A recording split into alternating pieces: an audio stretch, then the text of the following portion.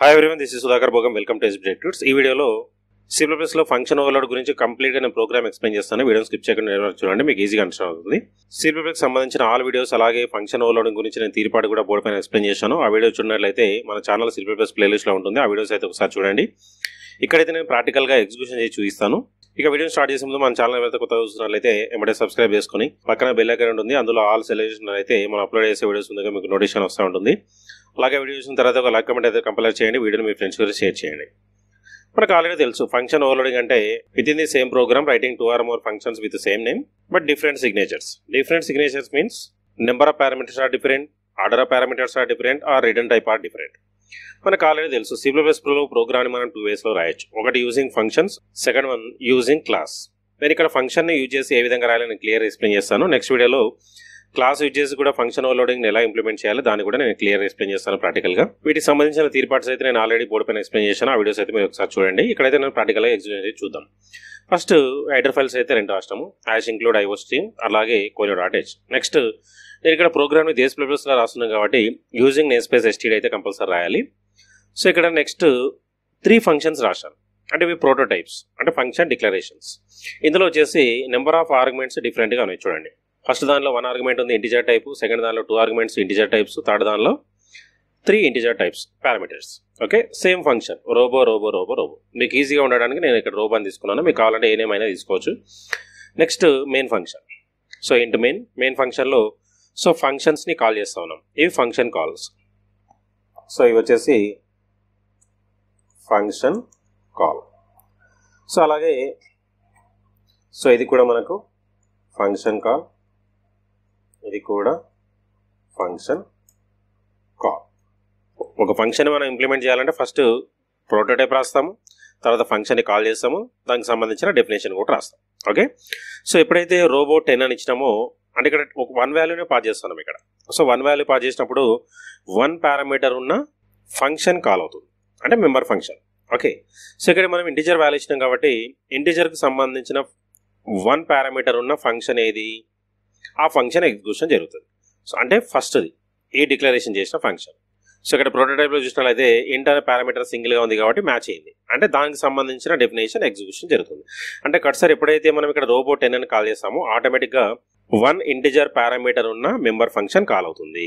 So one parameter ఉన్న member function ఏడుంది అంటే ఇగో ఈ విధంగా ఇక్కడ రాశాను సో ఫంక్షన్ని మనం అవుట్ సైడ్లో రాస్తే మీకు ఈజీగా ఉంటుంది కాబట్టి అవుట్ సైడ్లో రాశాను. ఇది వన్ పారామీటర్ ఉన్న మెంబర్ ఫంక్షన్ సో ఇప్పుడు టెన్ వచ్చేసి మనకి ఇక్కడ ఇంట్ ఏ అంటే ఏలో స్టోర్ అవుతుంది. ఎందుకంటే ఇక్కడ టెన్ అనేది ఇంటిజర్ కాబట్టి ఇంటి ఏ మ్యాచ్ అయింది. సో ఏలో వచ్చేసి టెన్ స్టోర్ అవుతుంది. సో తర్వాత ఈ మెంబర్ ఫంక్షన్లో మనం ఏని ఏమైనా చేసుకోవచ్చు. నేను సింపుల్గా ఏం చేశాను? డిస్ప్లే చేశాను. A value equal to a అని చెప్పేసి డిస్ప్లే అయితే రాసిన. ఇది first function okay next cut sir మళ్ళీ రిటర్న్ బ్యాక్ ఇక్కడికి వస్తుంది ఇక్కడికి వచ్చిన తర్వాత సెకండ్ స్టేట్మెంట్ ఏముంది? రోబో టెన్ కామా ట్వంటీ అన్నాను. అంటే టూ వాల్యూస్ని పాస్ చేస్తా ఉన్నాను రెండు కూడా ఇంటిజర్సే సో దానికి సంబంధించిన మెంబర్ ఫంక్షన్ ఎగ్జిక్యూషన్ జరుగుతుంది. సో దానికి సంబంధించిన మెంబర్ ఫంక్షన్ ఎక్కడ ఉంది అంటే ఇది. చూడండి. Int a comma int b two parameters తీసుకున్నాను కాబట్టి ఇంటిజర్కి సంబంధించినవి అది మనకి ఎగ్జిక్యూషన్ జరుగుతుంది. సో ఇప్పుడు ఈ టెన్ వచ్చేసేమో ఏలో స్టోర్ అవుతుంది ట్వంటీ వచ్చేసేమో బీలో స్టోర్ అవుతుంది. సో ఇక్కడ లాజిక్ కూడా ఏ వాల్యూని బి వాల్యూని డిస్ప్లే చేస్తాం మీకు కావాలంటే ఏ వాల్యూ బి వాల్యూని ఏదైనా చేసుకోవచ్చు. అడిషన్ సబ్ట్రాక్షన్ మీ ఇష్టం ఏదైనా చేసుకోవచ్చు. ఓకే ఇది సెకండ్ ఫంక్షన్ మళ్ళీ కట్సారి రిటర్న్ బ్యాక్ వచ్చేస్తుంది. నెక్స్ట్ థర్డ్ ఫంక్షన్ని కాల్ చేస్తున్నాను ఇక్కడ. Robo ten comma twenty comma thirty అంటే త్రీ పారామీటర్స్ ఇంటిజర్స్ ఉన్న మెంబర్ ఫంక్షన్ కాల్ అవుతుంది. అంటే ఇక్కడ ప్రోటోటైప్లో చూడండి. త్రీ ఇంటిజర్స్ ఇచ్చారు. త్రీ ఇంటిజర్స్ యూజ్ చేసాం సో దానికి సంబంధించిన డెఫినేషన్ ఇక్కడ ఉంది. ఓకే సో ఇప్పుడు టెన్ వచ్చేసేమో ఏలో స్టోర్ అవుతుంది. ట్వంటీ వచ్చేసి బీలో స్టోర్ అవుతుంది. థర్టీ వచ్చేసి సిలో స్టోర్ అవుతుంది ఆర్డర్ వైజ్గా ఓకే సో ఆ వాల్యూస్ మనం ఏదైనా వేసుకోవచ్చు. సో నేను ఇక్కడ సింపుల్ ఏం చేస్తాను? వాటిని డిస్ప్లే చేస్తాను. మీరు కావాలంటే ఏదైనా వేసుకోవచ్చు. ఇంతే సింపుల్గా ఈ విధంగా మనం ఫంక్షన్ ఓవర్లోడింగ్ని ఇంప్లిమెంటేషన్ చేయొచ్చు. ఈ ఫంక్షన్ ఓవర్లోడింగ్ని మనం ఏమంటామంటే స్టాటిక్ పాలిమార్ఫిజం అంటాం.